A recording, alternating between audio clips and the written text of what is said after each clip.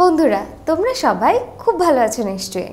আমরা এর আগের ভিডিওতে ভুটানের সম্পর্কে অনেক কিছু জেনেছি এবং আমরা যে লেসনটা পড়ছি সেটার নামই হচ্ছে Bhutan the land of happiness অর্থাৎ সুখের যে দেশ সেটার নামই হচ্ছে ভুটান। চলো তাহলে আমরা ভুটান সম্পর্কে আরও কিছু পড়ে আসি। Pure mountain air, crystal blue skies, and pristine vegetation have made this small country an ideal destination for the environment lovers. তাহলে চলো আমরা একটু বাংলা করে দেখি। পিওর মাউন্টেন এয়ার এটা মানে হচ্ছে বিশুদ্ধ পাহাড়ি বাতাস ক্রিস্টাল ব্লু স্কাই একদম নির্মল পরিষ্কার আকাশ অ্যান্ড প্রিস্টিন ভেজিটেশন এটা মানে হচ্ছে প্রিস্টিন এই শব্দটা মানে হচ্ছে আদিকালের, আর ভেজিটেশন মানে হচ্ছে আদিকালের যে গাছপালা, এই গাছপালা আচ্ছাদিত, এই ছোট্ট দেশটা is is have made this small country an ideal destination for the environment lover অর্থাৎ যারা পরিবেশকে ভালোবাসে, তাদের জন্য এই ছোট্ট দেশটা একটা আইডিয়াল ডেস্টিনেশন ডেস্টিনেশন মানে কি? গন্তব্যস্থল। অর্থাৎ একটা আদর্শ গন্তব্যস্থল।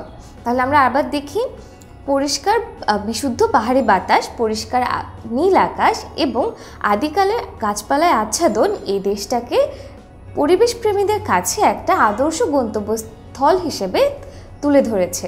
The ecosystem of this small nation supports the existence of rich flora and fauna বলছি ইকোসিস্টেম মানে কি বাস্তু সংস্থান তাহলে এই ছোট্ট দেশটার বাস্তু সংস্থান supports the existence of rich flora and fauna flora মানে হচ্ছে উদ্ভিদকুল ফনা মানে হচ্ছে প্রাণীকুল আর এক্সিস্টেন্স মানে হচ্ছে অস্তিত্ব অর্থাৎ এই দেশের যে বাস্তু সংস্থানটা সেটা কিন্তু এই দেশের সমৃদ্ধ প্রাণীকুল এবং উদ্ভিদকুলের যে অস্তিত্ব আছে, সেটাকে সাপোর্ট করে বা সেটাকে সহায়তা করে। Which are protected by strict laws এবং এই যে ফ্লোরা অ্যান্ড ফোনা এগুলোকে খুবই কঠোর আইন দ্বারা রক্ষা করা হয়। Even any one found guilty of killing a black necked crane would be sentence to life in prison তাহলে গিলটি মানে কি? দোষী। আর ব্ল্যাক নেকেড ক্রেন মানে হচ্ছে সারস। অর্থাৎ যদি এমন কাউকে পাওয়া যায় যে সে একটা কালো ঘাড়ওয়ালা সারস পাখিকে মেরে ফেলেছে, তাকে সারা জীবনের জন্য জেল খাটতে হবে। The government of Bhutan has taken a number of steps to protect is its biodiversity biodiversity মানে কি? এটার জীববৈচিত্র্য, অর্থাৎ ভুটানের সরকার অনেক ধরনের পদক্ষেপ নিয়েছে এটার জীববৈচিত্র্যকে বাঁচানোর জন্য। Bhutan is the first country in the world with specific constitutional obligations on its people to protect the environment Bhutan হচ্ছে প্রথম দেশ যে দেশটা পৃথিবীর মধ্যে প্রথম তারা খুবই নির্দিষ্ট কনস্টিটিউশন মানে হচ্ছে সাংবিধানিক অব্লিগেশন মানে হচ্ছে বাধ্যবাধকতা। অর্থাৎ তারা তাদের সংবিধানে কিছু নির্দিষ্ট নিয়ম দিয়েছে, তাদের মানুষের যেগুলো করতে হবে সেই কাজগুলো যাতে করে তারা তাদের পরিবেশকে বাঁচাতে পারে। এবং পৃথিবীতে আর কোনো দেশ তাদের সংবিধানে অন্তর্ভুক্ত করেনি এসব নিয়ম। অ্যাজ পার দ্য কনস্টিটিউশন সংবিধান অনুসারে at least sixty percent of the country must remain under forest cover at all times ভুটানের সংবিধান অনুসারে, সেই দেশটার ষাট শতাংশ অংশ অবশ্যই বন, বনভূমির অন্তর্ভুক্ত থাকতে হবে। অর্থাৎ এই পুরো দেশটার ষাট শতাংশ কিন্তু অবশ্যই বনভূমি দ্বারা ঘেরা থাকতে হবে এবং আচ্ছাদিত থাকতে হবে। Efforts are also taken to protect the nation against the intrusion of foreign culture and values তাহলে আরও কিছু পদক্ষেপ নেওয়া হয়েছে কিসের বিরুদ্ধে? ইন্ট্রুশন মানে হচ্ছে অনধিকার প্রবেশ ফরেন মানে অন্য দেশের বা বিদেশি কালচার মানে সংস্কৃতি ভ্যালুস মানে হচ্ছে আমাদের যে নীতি নৈতিকতা আছে সেগুলো। অর্থাৎ অন্য কোনো দেশের সংস্কৃতি বা নীতি নৈতিকতার অনধিকার প্রবেশ থেকে বাঁচানোর জন্যও কিন্তু ভুটান অনেক ধরনের পদক্ষেপ নিয়েছে। The first foreign tourists were allowed into Bhutan in nineteen seventy four উনিশশো চুয়াত্তর সালে প্রথম বিদেশি পর্যটকদের ভুটানে ঢুকতে ঢুকতে অনুমতি দেওয়া হয়।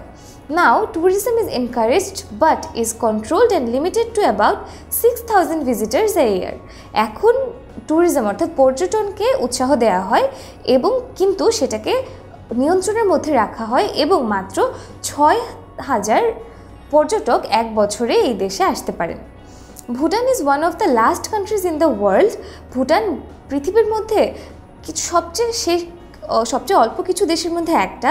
To introduce television and the internet to its people অর্থাৎ সর্বশেষ যে দেশ টিভি এবং ইন্টারনেট তাদের মানুষের সাথে পরিচয় করে দিয়েছে, তার মধ্যে ভুটান একটা।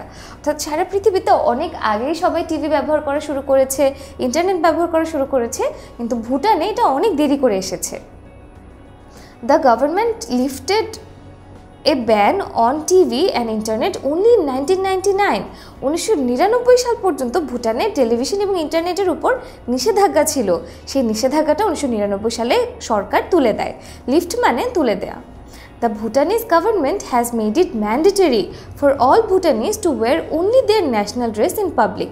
ভুটানের সরকার এটাকে আবশ্যক করেছে বা বাধ্যতামূলক করেছে সব ভুটানের জন্য যে তারা তাদের জাতীয় পোশাকই পাবলিকে পরবে যেমন ধরো আমাদের দেশে জাতীয় পোশাক কি ছেলেরা লুঙ্গি পরে থাকে, পাঞ্জাবি পরে থাকে, মেয়েদের জন্য শাড়ি। কিন্তু সবাই কি সারাক্ষণ সেগুলো পরে থাকে? না, দেখা যায় যে সবাই শার্ট, প্যান্ট পরে ঘুরছে, ছেলেরাও, মেয়েরাও অনেক ধরনের পোশাক পরে ঘুরছে, কিন্তু আমাদের জাতীয় পোশাক কিন্তু আমরা সবসময় পরে থাকি না। কিন্তু ভুটানের সরকার সবার জন্য এটা বাধ্যতামূলক করেছে যে তাদেরকে তাদের জাতীয় পোশাকই পরে থাকতে হবে। ফাইনালি শেষ, একদম শেষ করতে গেলে the most interesting fact about Bhutan is that they are the only country that measure success in gross national happiness rather than gross gross national product এটার মানে কি জানো? গ্রস ন্যাশনাল প্রোডাক্ট মানে হচ্ছে একটা দেশের জন্য সারা বছরে তাদের জিএনপি হচ্ছে তাদের অর্থনীতির একটা সূচক।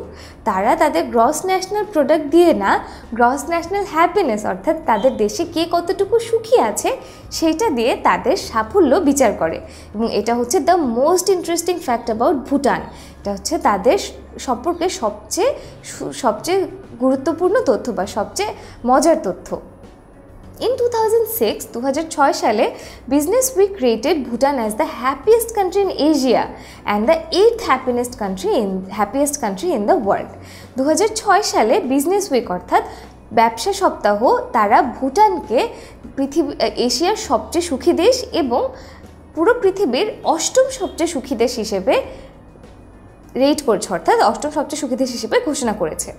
তাহলে দেখো আমাদের এই অংশটাও শেষ হয়ে গেল এবং এরপরে দেখো এখানে কিন্তু সুন্দর করে সবগুলো অনুবাদ দেয়া আছে।